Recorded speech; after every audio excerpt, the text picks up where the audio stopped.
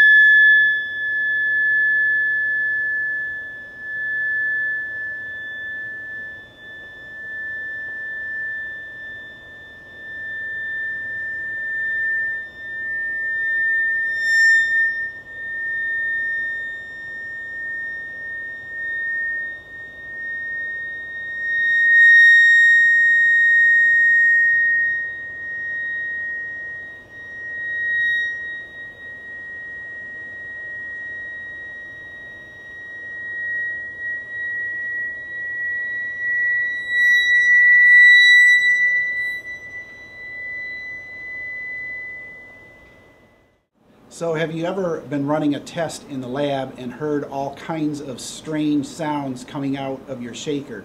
Perhaps similar to the sounds you just heard on the salt uh, plate test. This illustrates that your fixture may have problems. You may think that a piece of metal this thick made out of magnesium can certainly uh, be stiff as a board, but at certain frequencies it will resonate. And when you hear those sounds coming out of your shaker, that's exactly what's happening. There are resonances somewhere in your system. Generally, they're found in the fixturing. So just consider that many plates, many spots on your fixturing are giving different results. This is important when you're running a test not to believe that one spot, which is the spot you're measuring, is the same as everywhere else. Likely it is not.